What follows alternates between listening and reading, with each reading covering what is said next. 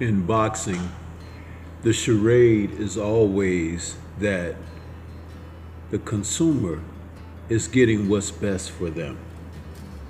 And oftentimes, there are examples where the best of what the sport has to offer can be experienced, but only in minuscule portions, never fully divulging positively what the sport has to offer. And then there are the people who are on the precipice of the involvement of the sport, trying to give the impression that they want to drive the sport ahead. But is that truly the case? And when you talk about investors such as Saudi Prince Turki Al Sheikh, there is a question to call with these circumstances because his promotions over the past couple of years had me thinking puppetry, pulling the legs and strings of the masses in boxing. This man and his economic influence has allowed us to see certain events take place, certain fight matchups take place.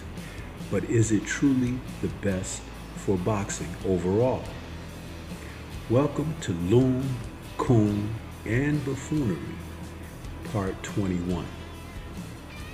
We are in the midst of another change in the sport of boxing where we're seeing certain fights be able to get made due to those who could fund the matches, where promoters are no longer doing their job, where they do not enact their powers of putting their fighters' names and their accomplishments out to the masses on display to get us to understand why we should buy a ticket to watch these warriors compete in the sport.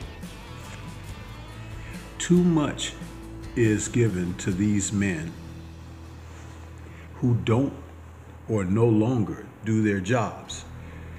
They sit back and tell the fans, nobody wants that fight. Nobody's gonna fight. Who's gonna pay for the fight?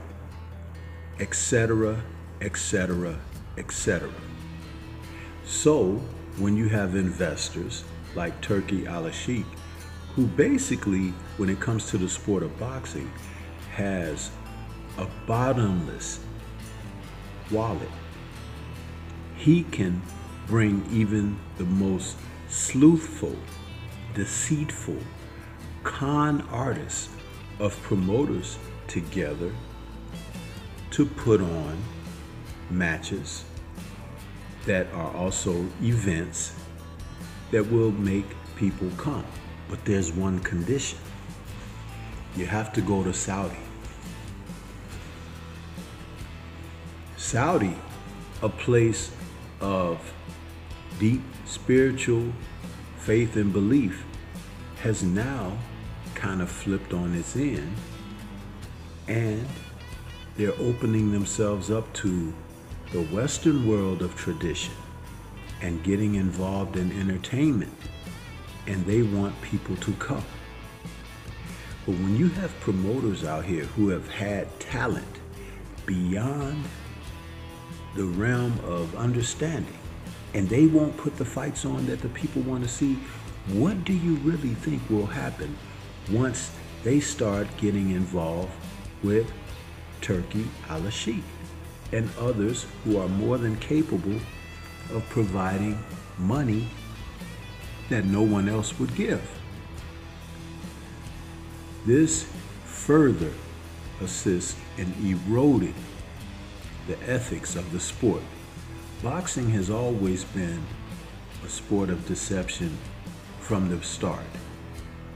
It was once referred to as the peddling of the flesh, where you pit one man, mano a mano, against another, and you have those invested in the outcome giving their allegiance to one side or another and for a bag at the end of it all.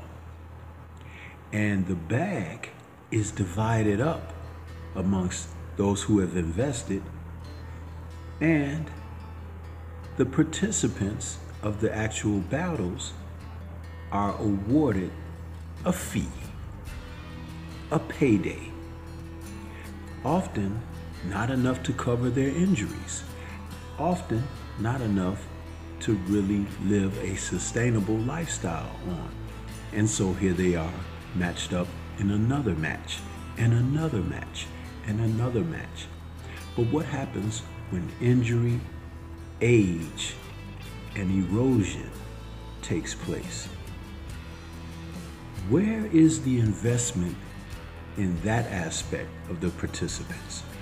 Where are the bottomless wallets and banks when fighters who need some type of Medicare, who need some type of pension, because you can't do this all of your life.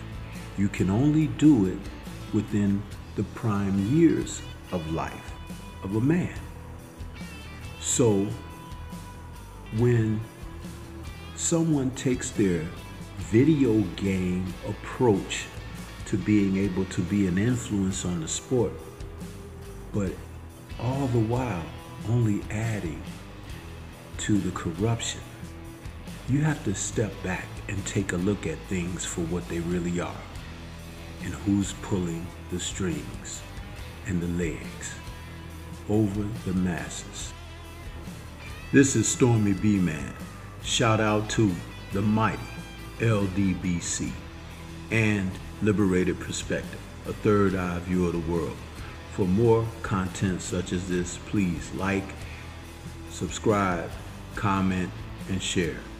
Peace to everyone out there, and everyone, please remain safe.